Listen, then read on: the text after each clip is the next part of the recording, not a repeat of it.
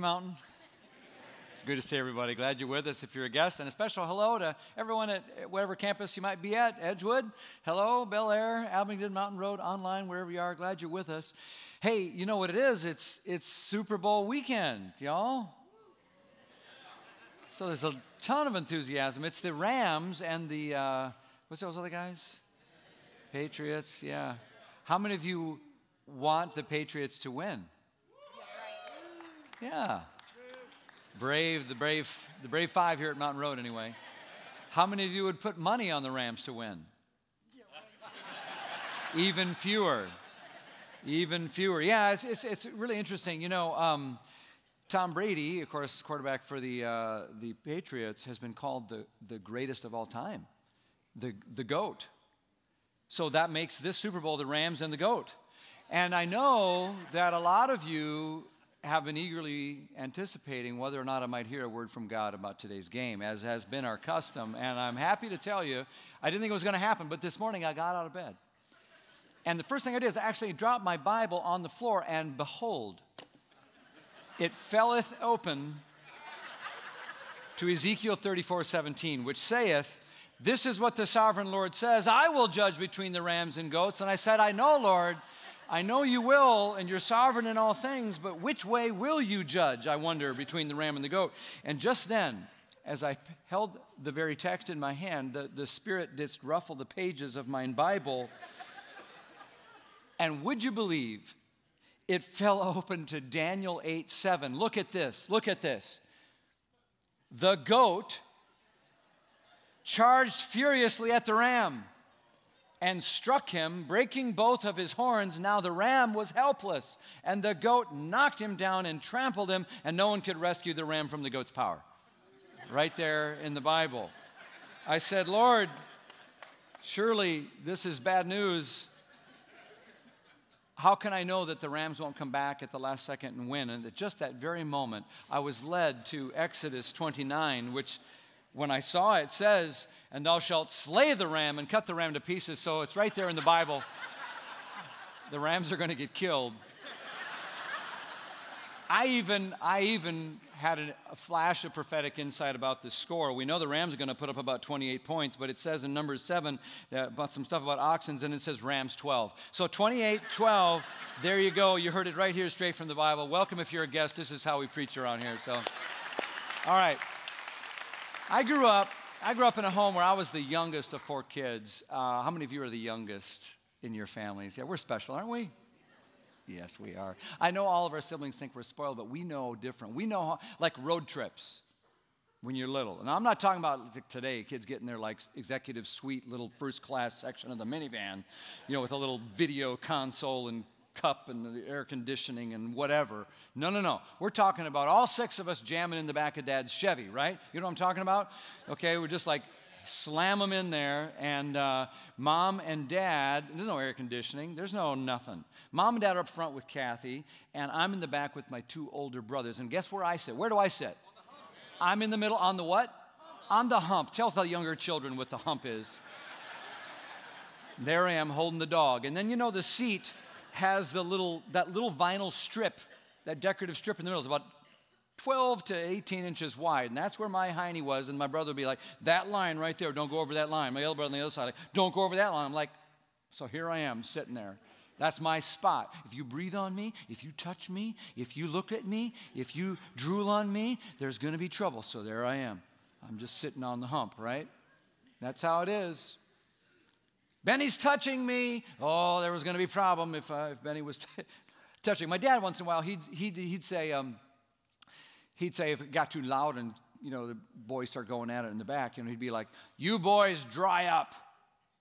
Like our big problem is a moisture issue or something. I, I never understood that, but I, I know what it meant you know, dry up. And if, it did, and if we didn't dry up, then all of a sudden he'd like, you know how this works, he like could sublux his shoulder and throw it out of joint, and suddenly he's in the back seat, like trying to grab a hold of something. You're like dodging and weaving. And, he's, and then he says what all dads say Do I need to? Do I need to pull over? Do I need to stop this car? And you're like, well, if it's that or crash, yes. I mean, we're swerving everywhere. So we had very clear boundaries back there. There's the line, don't go over it. And families have boundaries like that, don't they? Not, they're not always as clear as they were in the back seat for me as a kid. You've got some boundaries in your family. Families are, are awesome. They are the source of some of our greatest joys and happiest memories, aren't they? Best times in life sometimes are with family, but also some of our great frustrations and deepest hurts and some confusion and frustration comes from families as well. And a lot of this has to do with this boundary issue, this fuzziness, this sense of how to get along, where to draw lines that everyone can live with. We've been talking about, we've been calling this series Pushing the Limits. And it's all about how to just take some basic godly wisdom from Scripture and do it so life works right. Like, try it God's way. And we started with Luke kind of walking us through, just reminding us how limits are life giving and how, from the Old Testament scriptures and all the way through the New, you've got this idea, this concept of limits, and we think it's going to hem, hem, hem, us in, and, and it'll be really hard for us, but it ends up being the very best gift in the world for us. And so there's a sense of trusting God. So we want to trust his sense of limits. And we talked about boundaries in relationships. And then we talked about boundaries with our time Remember the, the big rocks in first? And then we talked last week with Jared about boundaries in our bodies, especially when it comes to sleep and food and sex. And today we want to talk about boundaries with our families. Boundaries with our families, because what we want is, whether we're in the backseat of a car or whatever, wherever we are, we want, um, we want a healthy sense of living so life works with God's principles. And, and whether you're a brother or a sister living at home with some siblings, or you're, you've got kids of your own, or you're empty nesters, or you're single, or divorced, or fostering, or blended, or live alone, and wherever we are, I think we can use some help with this. Remember now, when we talk about boundary, we're just simply saying it's a line that gets drawn. And you got to fall in the right place. And a line that gets drawn that says, okay, this is me. This is me and my stuff. And that over there, that's you and we kind of live there. Uh, this is my responsibility, that's your responsibility. This is my stuff, that's your stuff. Like the walls of a house. And if somebody just kind of walks in the house and starts taking stuff without permission or whatever, that's a boundary issue. You got to figure out how to put a boundary up. And if you've ever felt like relationships and families can be kind of tricky or frustrating, if you've ever felt kind of maybe disrespected by someone in your family, or like your little ones just never, ever obey, or the older ones maybe speak in ways that concern you, or if you're a kid and you feel like mom and dad just don't get you, they, baby, they baby you or they expect more of you than you think you can do. Or you get angry with your partner about the same thing they repeatedly do that bothers you and it's getting worse or in your family you have the same arguments about the same things over and over and over again and then same kind of destructive behavior keeps happening. You know, these, these are boundary things. And what we want in our families as we said before is we, we want to invite the love of god. The love of god jeremiah 3.13 says god says i have loved you with an everlasting love. A reminder of so many places in the bible where god's love is different. It's, it's permanent it's beautiful it's pure it's good it's true. The new testament says perfect love casts out fear and we want that in our families families, don't we? And so many of our relationships and families are marked by fear. If I don't give the kids what they want, they're going to throw a tantrum. It's going to be a terrible day. I'll just do it. I don't want to do this, or she might get mad, or he'll give me the silent treatment, or he might sort of blow a cas- you know, a gasket or something. And so we live in this fear. And what we want and what we need is the love of God, this everlasting love that comes to us through Jesus Christ, that we can access through the way we have been loved and filled so that it can flow just not to us but through us and be people who know how to live in healthy ways, in pure ways, in good ways, in life giving ways that go past some of the manipulative, selfish, sort of inward guilt trip. Passive aggressive, dysfunctional sin patterns that were handed to us or that we grew up or adopted or learned to use somewhere along life's path. We're talking about growing up. And we're talking about how that could look in a family so we could love with an everlasting love.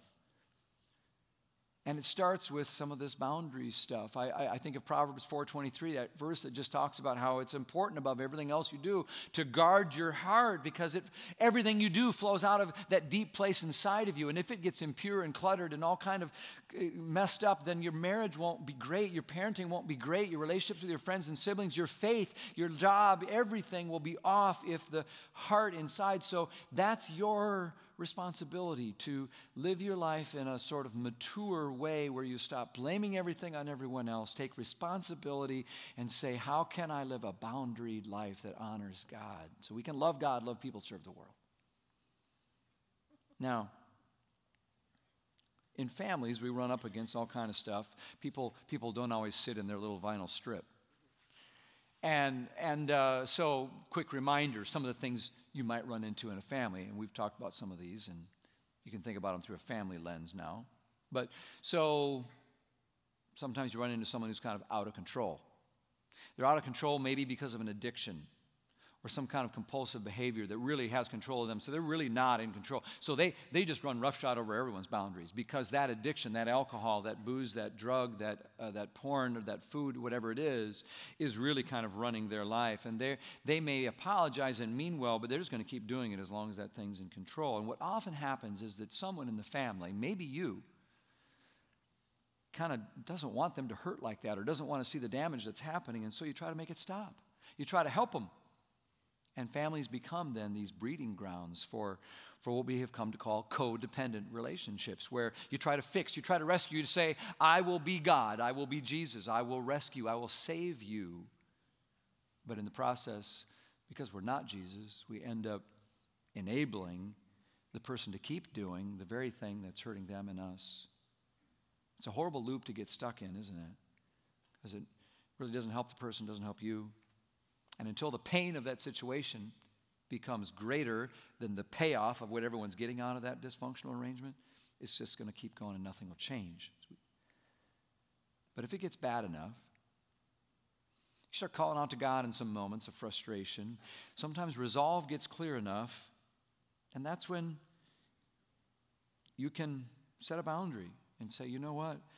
I'm not going to help you kill yourself. I'm not going to rescue you. I'm not going to be mean to you. I'm not going to, I'm going to still love you. I'm not going to withhold my love, but I tell you, the way this love is going to come across right now is I'm going to draw a boundary and I'm not going to bail you out. I'm not going to pick you up. I'm not going to give you a drive, a ride. I'm not going to lie for you. I'm not going to write that note. I'm not going to give you that loan. So sometimes we run into some people that's out of control, and boundaries can help us love better.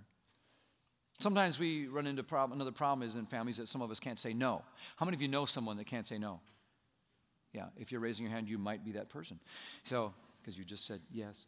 Anyway, um, but no, this is a person. When, when a person can't say no, that's a boundary issue because you just, you, sometimes boundaries keep bad things out, but some boundaries, um, boundaries, when you, don't, when you can't say no, you can't do that. They just, everything can come in. You don't have any boundary there so you think it's impolite or rude, or you know, maybe you're a Jesus follower and you're like, you know, aren't we supposed to love everyone and give the shirt off our back? And it's hard sometimes to know how to be caring, but not, you know, give yourself away or be trampled on. And sometimes people like this, they just melt at any request and the demands of other people, and their mouths say yes, and inside they're thinking, I can't believe I said that because they don't want to do it and they're conflicted, and it's not healthy or honest, but it's the way it is, and they're driven by fear usually fear of hurting someone's feelings, fear of what they might say of me if I, if I don't say yes right now, fear of I, I hate feeling guilty and I don't want to feel guilt, so I'll say yes, even though I hate saying yes. And if you want to manipulate a person like this, you just use little catchphrases like, if you love me, you would, and you got him. Or if, you know, if I had the money, I'd do it for you. Or you call yourself a Christian, right? Well, that'll get them. Sometimes you run into somebody uh, who, who has got another issue, and, and it's a person who's a controller. A controller is a person who, even when you say no, they just they don't take that for an answer. They just barge right through the front door anyway. And uh, they just take it as their responsibility to try to talk you into it. You got to help me out here. So they manipulate, they might yell, they might get angry, they might use violence, they might use guilt, they use whatever uh, they need to. So I'm just trying to remind us, poke around a little bit on us, remind us can we all just acknowledge we're all a little bit screwed up? Yep. And guess what? You're the only one here who has those problems. Not true. So, how, how can all of us sort of get back on this horse of some boundaries in the area of families? Let me give you some things, uh, these biblical principles. And again, we're not following a straight text through, we're kind of jumping around, just grabbing biblical principles to try to get some help in our families today. One thing I would say as you think about families is we've got to get better at loving without rescuing. We've got to love others without rescuing them. There's a difference, and sometimes it's hard to figure it out. We, we've got to learn to see the difference between true love and a codependent or rescuing love. Because that, the rescuing love doesn't cast out any fear. It just sort of temporarily put a band aid on something. Love says, I'm for you and I'm on your team, but I'm not going to try to fix your problems. I can't. That's a boundary issue. Take a look at Galatians 6, a passage we've looked at before, but I, I noticed something interesting in this one uh, this time. I'm going to just kind of skip around and start in verse 2. It starts out, Paul's giving this beautiful thing, this word to us and to the Galatians carry each other's burdens, and in this way you fulfill the law of Christ. There's nothing more Christ like you can do than sort of help each other with the hard things in life, carry each other's burdens, right? But then look, a couple of verses later, he ends the same sentence. I took all the rest out so you could see it. He ends by saying, For each one should carry their own load. Does anybody see anything weird here? Carry each other's burdens, carry your own load. Which is it? And how does that go together? I noticed something when I dug in a little bit. Carry each other's burdens. The word burden there is a word that kind of means a, like a big boulder, a huge back crushing rock that you can't carry by yourself. And these are the kind of things we got to help each other with. A divorce is a boulder. Your kid gets really sick for a long time, that's a boulder. Your house gets foreclosed or damaged by flood or fire or something like that. A medical condition or some emotional illness. Sometimes we've got to come alongside. That's why we talk about, you know, being together in community so often around here. And in families, we've got to sometimes get under the rock so it doesn't crush them, carry each other's boulders. But then, did you know that word that's usually translated load, carry your own load, doesn't mean boulder? It means, it's a word that kind of, it basically means like knapsack. Like your daily pack you would take for a hike with the stuff that you're going to need for that day. It's your stuff that you'll need, your daily stuff.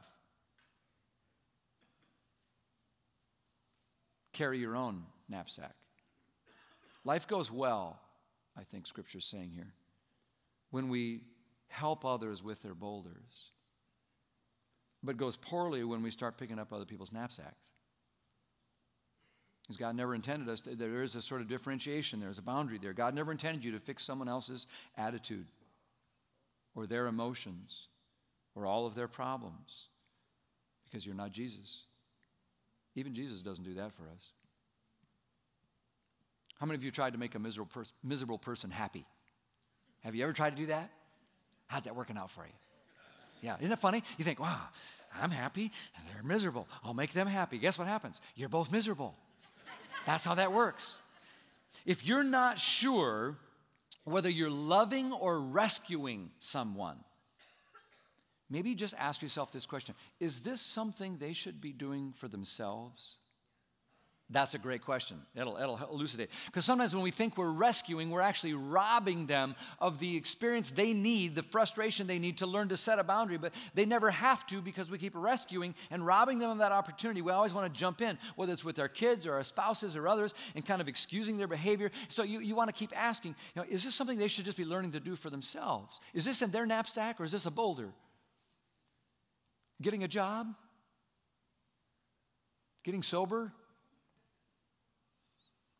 Solving their financial problems, dealing with their anger, taking care of their bodies. These are, these are, these are things on them. Healthy families learn to love that way without rescuing. Another thing we can do is to learn to say no when that's the right thing to say. I love the simplicity of Jesus when he says in Matthew 5, it's like all you need to say sometimes is simply yes or no. In other words, there's a, there's a line that you can draw. And sometimes I love what John Townsend said here to say if you say no and someone doesn't respect that, there's five other words you can use that really kind of help. Here they are, ready? That doesn't work for me. Try that one, it, it really does help. What do you mean, no? Why? You can say, well, because that tone of voice doesn't work for me. Or because those hurtful words, that doesn't work for me. Or that's an inappropriate behavior and that doesn't work for me. There's a lot of attention today on how no means no. I think it might be kind of a good thing for us to pay attention to that. Here's another one don't shield the ones you love from the consequences of their actions. Don't shield them. You, have an angry management person in your family, ang- anger, anger person, and you learn, they teach you that when they get angry, you start walking on eggshells. Well, they've successfully taught you, but you've never really maybe held them accountable. So you don't have to sort of shout back or anything, but you could just let them experience some consequences of their actions. Look at Hebrews chapter 12, verses 10 and 11. Beautiful section of scripture here. We're just going to drop down verses 10 and 11. It's kind of making an analogy here about God's care for us.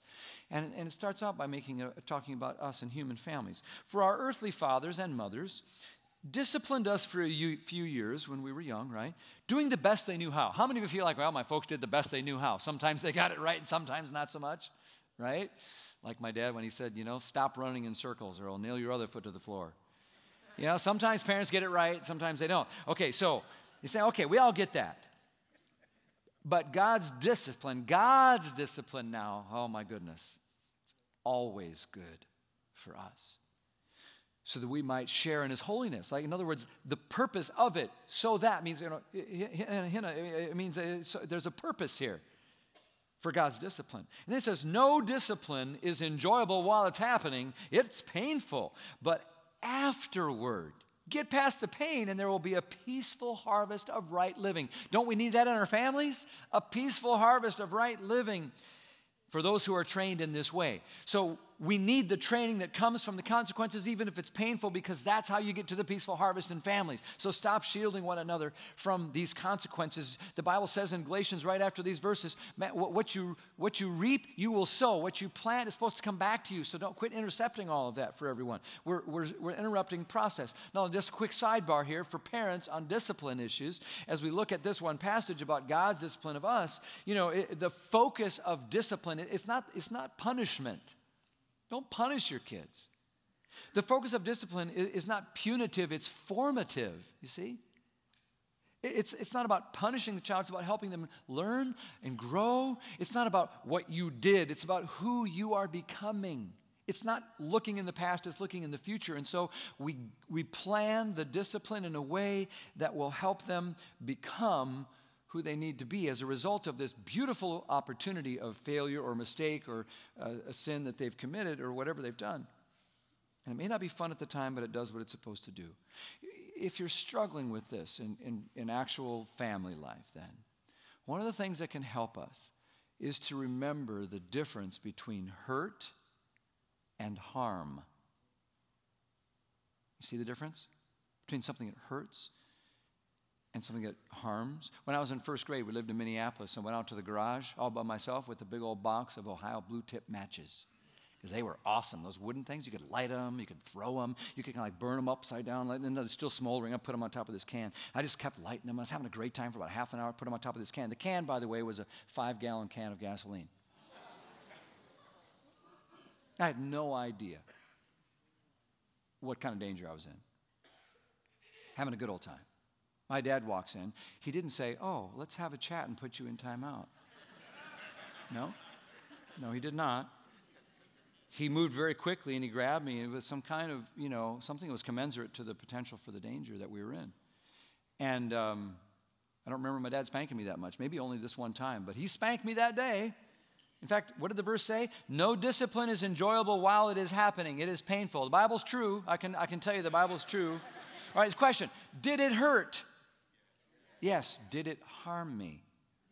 No. Don't let any psychobabbler tell you it harmed me. It did not. In fact, it, it would prevent future harm. You go to the dentist, you have, a, you have a cavity pulled out. Does it hurt? Yeah. Did it harm you? No. Friends, listen, not everything that's good for you feels good. Not everything that hurts you is bad for you. And we're so slow to get it, but it's jammed into so many places in the Bible. And when someone comes at you with a manipulative, how could you? This is hurting me. You don't love me. You know better because you have the example of God through Christ. You have the example uh, uh, of a, of a disciplining father who's not trying to be punitive. He's trying to be formative. He's not trying to hurt you, he's, he, harm you, or hurt you, but he's going to help you grow. And so, what you sow, you should reap. And we're so busy swooping in. And sometimes the hand of natural consequences is coming in for a little swat on the rear, and we run in and, like, oh, no, no, no, no. Let them light their matches. We don't want to hurt their feelings. Let the consequences come as hard as it may be. Your little three year old keeps hitting little sister on the head, bonking her, bonking her, bonking her. And you say, oh, Johnny, don't do that. You might hurt her feelings and joggle her brains out. What's he going to do? Well, he's going to keep hitting around the head. Why wouldn't he? So you need some boundaries there. Someone's got to take control of that situation because he's not responsible yet for his own boundaries at that level. So you, you help put some there. You put him in timeout. You take away a privilege. You say you keep that up. There won't be any ice cream for you after dinner. You got to make it hurt. You're not going to harm him. And you need to do this. Stop shielding him from that. Stop being so worried about his esteem that you're destroying his character. Not just for his sister's sake, so she doesn't get her brains joggled out. Not just for your sake, so you don't have a misbehaving kid, but for the kid's sake. The kid deserves someone to help him understand that limits actually give life. And that it's better when you live a life when you're not bashing your sister's head in. And if he doesn't figure it out at age three, you're going to have an ugly little five year old on your hands. And if you don't figure it out at five, you're going to have a 10 year old you don't want in the house. And if you don't figure it out at 10, you're going to have trouble at 15. And that's the kind of kid who grows up and becomes 25 an adult body, but he's still three years old. And some of you know exactly who I'm talking about. So don't rob others of what they need to learn by shielding them from the consequences of their own actions. That's their knapsack. Let them feel the weight of it. It may be hard, it may hurt you to, to watch them hurt, but it's not going to harm them. It's going to help them and it's going to heal them. Let's talk a little bit about marriage, boundaries in marriage. So much we could say, not much time to say it. I think of Ephesians 5, which has all these great words for husbands and wives, and our job description there to mirror this kind of loving and mutual submission way we live together. Verse 31, it's been talking about husbands loving your wives as Christ loved the church, gave himself up for her. Husbands, love your wives like your own bodies. And it comes down to verse 31. It says, For this reason, quoting Genesis 2 24 here, for this reason, a man will leave his father and mother and be united to his wife, and the two will become what? One flesh. I don't understand all that that means, but it's a beautiful mystery. It's talking a little bit about Jesus and the church, it's talking a little bit about husband and wife. But I know this it, it, it, it's a giving up of some separateness in order for something better called one flesh, where you're bound together, moving toward intimacy in the same way that God moves toward us in a kind of vulnerability when God lowered himself and humbled himself, came among us with this perfect everlasting love. Husbands and wives get to mirror a little bit of that beautiful thing. John Cloud says, More marriages fall apart because of poor boundaries than for any other reason. When you're, when you're together in a family, in a marriage, and you're trying to have two become one, eh, there's lots of potential for things going wrong. You can stay two separate, that doesn't work. You can get two enmeshed, that doesn't work. You can you can forget to leave and cleave. So you got to leave your father and mother before you can cleave. You know, sometimes she wants to run home to mom or daddy, and that doesn't work. And you got all these problems. I thought maybe I would just change up here a little bit and just tell you one thing. I've been married a while. Tell you one thing. It's been the most slow for. I've been the slowest to learn in my own marriage and life, but it's been maybe one of the most helpful even though it's maybe not the most important, it might be helpful for you. And that is on this matter of boundaries and moving closer to oneness. Remember, boundaries are not only where you try to, you know, figure out what belongs to someone else, you got to figure out what belongs to you. Like, what's your own stuff that you need to own? And take responsibility for it. Boundaries promote intimacy because we need the ability to take responsibility for our own, and here's the word I'm getting at feelings. Now, some of you cringe when I say that word. But we've got to learn to take responsibility. We spend a lot of time trying to figure out what someone else is feeling, but I have a hard enough time trying to figure out what I'm feeling and then take responsibility for that. And when you communicate that, what you're feeling, like a responsible, boundaried person should, now you have a chance at intimacy. Without it, you don't. So a couple goes in for counseling and you know, asks the husband, you know, what's going on or whatever. They're in there because the husband's drinking. And so the counselor asks the wife, hey, how do, how do you feel when he drinks? And she says something like, Well, I feel like he doesn't even think about what he's doing. I feel like he, blah, blah. And she, he, oh, hold on, hold on. Now you're evaluating his drinking now. How do you feel when he drinks? Well, I feel like he doesn't care. I feel like, no, no, no, no, no. That's what you think about him. How do you feel when he drinks? And finally, she just begins to cry. She says, I feel scared. I feel alone. I feel sad for our family. Finally, she said what she felt. She owned her own feelings. And he reaches over, puts a hand on her arm, and says, I, I never knew. I never thought about you being afraid. I would never want you to feel afraid. And what just happened there was a breakthrough and a turning point in that relationship because up to that point, she would complain about him and criticize him and, and be angry at him. And he, of course, would respond with defensiveness and why it was her fault and blaming and justifying and all this stuff. They could talk for hours about this thing, but they would talk past each other because neither would just simply talk in a way that would be responsible to own the feelings that are actually there and communicate them. When we start sentences with you always or you this, it's never going to be helpful. When we start with the, the word you, start with the word I, and then don't say, I think that you. No, it's a, I feel. And when we can say something like that, sad, I feel mad, I feel hurt, I feel scared. I feel like now we're getting into a place of vulnerability that's getting into a Holy Spirit area where now God's going to show up and has the possibility to do something in your marriage. It's the beginning of intimacy and caring, and that's what one flesh, I think, feels like, where we're not hiding behind fig leaves anymore. We're just there with each other, which is why if someone dares to be vulnerable enough to come to you and be vulnerable enough to share, I feel sad or angry, don't please respond in any other way other than a caring, tender, sensitive awareness that this was hard for them to do. And the appropriate answer is not, well, you shouldn't feel that way, or defend yourself, or attack or be critical or condemn, because you will have shut down and do damage to the future of that relationship. So, this is something that's taken me a long time. I'm still learning. Carla and I are working this out, but you know, it's a boundary issue. You know, even anger is a feeling, and I used to sort of think it was her fault if I got angry because she's the one who made me angry. Guess what? No one can make you angry.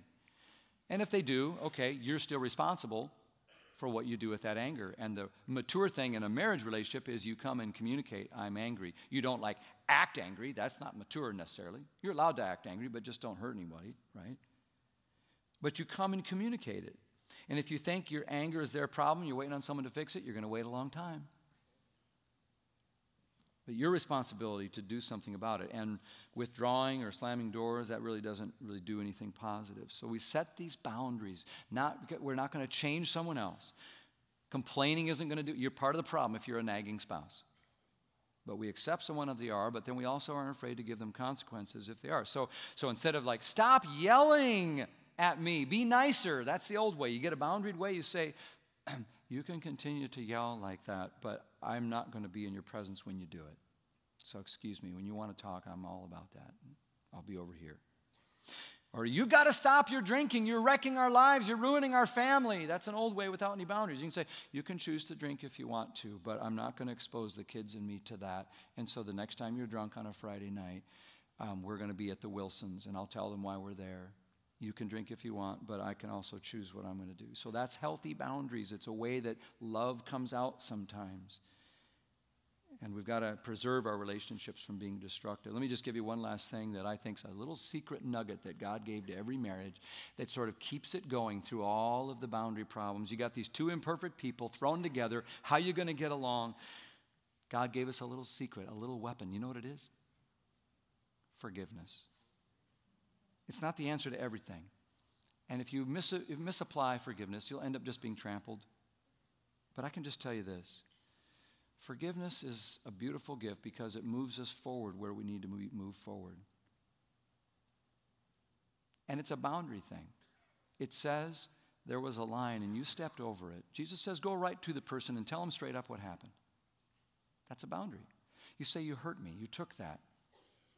This is what happened. You don't run from it. You don't blame them. You just say, This is what it is. And that, for that, you owe me. But I am choosing now to cancel that debt, and the whole thing is gone. Only takes one person to forgive.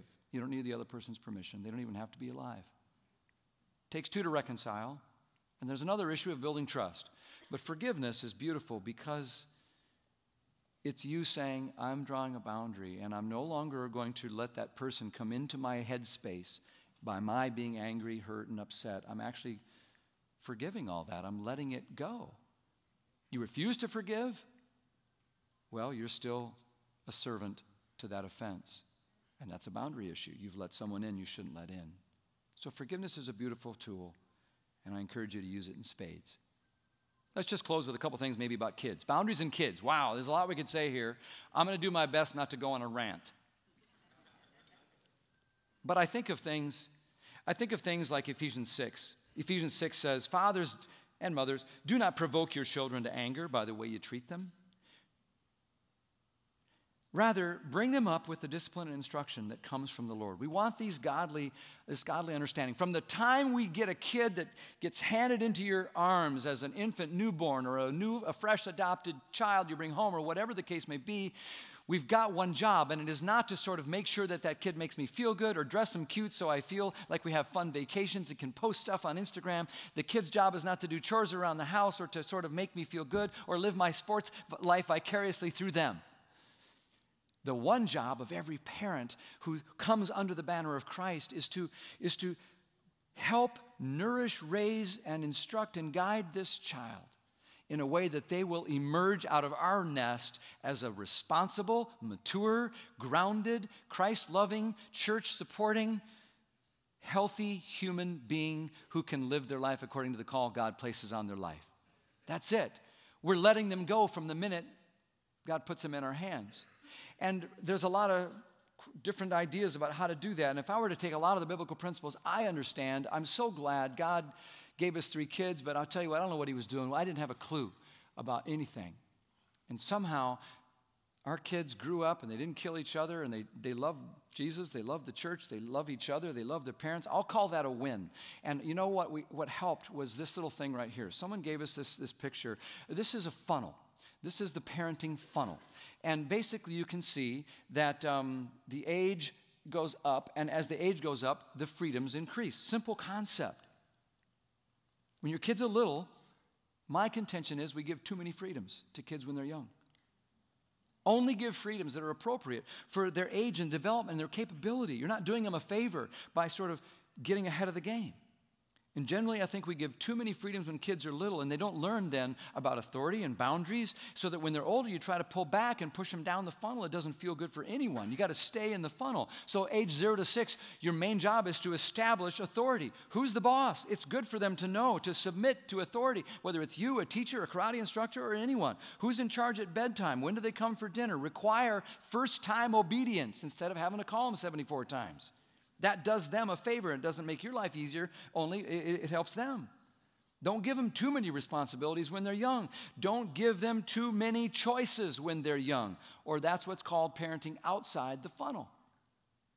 As kids move up in age, they, they get more responsibilities as their ability to obey and show self control. So, ages 7 to 12, you're developing responsibility. Now, you know, bedtime looks different. There's no more naps, maybe. They, they can decide what to wear, but give, you're not teaching, you're equipping now. And give them responsibilities and chores and stuff to learn how to do stuff and to, to, to take the trash out, feed the dog, you know, clear the table, wash the dishes, clean their room, help in the yard. These are things that kids need to do. And, and then if you set something and they don't do it, give them consequences and follow through. That's your job. Don't have a kid centric home. That's not doing anyone a favor. Age 13 and up, then we're into sort of a facilitating independence, right? This is where now they're more interested in their friends and their peers than they are you, frankly. And so you're going to help them as they face physical maturity and sexual interest and learning to drive and getting a job. All these exciting decisions now that we do want to let them make, they're going to make some mistakes, but they do it under your roof, under your guidance and tutelage, and that's the privilege we have. And we, what what I see and what concerns me is so many people reverse the funnel. They think it's like helping some little toddler to give them all these choices. And then when the kids are older, they step in and do everything for them. And they never let them experience the sort of bumps and scrapes. They pay for everything, they bail them out. They, they, they don't ever let the, the kids sort of experience something. And that's our job to let them do that. Hand a kid a world on a platter when they're teenagers, they get out of control, and then you try to regain it. It's a messy deal. So Little, little, little toddler, you know, you want the pink or the orange sippy cup today? You, you, you want orange juice or apple juice in that, sweetie? You, you want the pants or the shorts? You want the blue ones or the green ones? You want sandals or tennies? And we think we're helping them become a good decision maker. And what we're doing is we're announcing you're in control of everything. Hey, by the way, it's lunchtime. Please pick up your toys. No. Kidding me? I'm the boss of the universe. And I believe it's a direct result of too many choices. Jesus was swaddled up in swaddling clothes, held nice and tight when he was a baby, but they didn't keep him that way when he was a teenager. And, and that's because the funnel opens up. And I think there's a beautiful empowerment that happens when you give a kid a choice at the right age. Sometimes it helps them know they're in control and you can help them make a decision. But too many choices too young just teaches them not to obey and to learn to respect authority and it transfers the authority to the wrong place. So be careful about how you do that. Our job is to help kids grow up who can counter the culture of disrespect that we live in, who are not going to struggle. They're going to if you give them too much freedom, they've got confusion. Too little, they've got frustration. Kids are morally, behaviorally, emotionally, intellectually, athletically, sexually, and physically rushed. Don't rush them. Let them live in the safety of the boundaries that you as a parent sets. That's your job. You don't have to give them a thousand choices on everything because it just adds confusion. What you do need to do is help them to learn that other people have boundaries, help them learn self control, respect, obedience, trust, and love. That's the end of my rant. Tucked conveniently at the end of my sermon. And speaking of boundaries, I have a boundary with time, so this sermon is over. Let's pray. God, I ask that each of us would have a sense of how you have loved us with an everlasting love, how you have been a good father. And sometimes it has hurt us, but you've never harmed us. You have loved us with a pure good love, and God, just help us know in our marriages, with our kids, with our families, know how to love like that. Teach us to set the boundaries that honor you and one another. We pray it in Jesus' name. Amen. Hey, friends, thanks for being here. Uh, listen, if you're a guest, we love having you here. We have a thing called New Here over there by Zach. See, see Zach, everybody? If you're new here, go hang out there for three or four minutes. He'll give you a gift, send you on your way. Also, if you were touched by God in some way, you would love some prayer for some issue in your family, or maybe you're ready to accept Christ and start living on His terms. Whatever it might be, right up here under the cross, someone will be there to meet you and pray with you right now after the service. And next week, we start a new series. It's called Dare to Dream because there's a God dream inside of you that God has that's going to honor Him and His kingdom. There's a dream this church has, and we're going to unveil some of that starting next week, so be here. Let's close. If you'll stand, and let's close with this same uh, passage of Scripture from Deuteronomy we've been using every week. The Hebrew families would recite it every day together. We're going to recite it together. Are you ready to read it together? Let's read it. Hear, O Israel, the Lord our God, the Lord is one. Love the Lord your God with all your heart and with all your soul and with all your strength. These commandments that I give you today are to be on your hearts. Impress them on your children.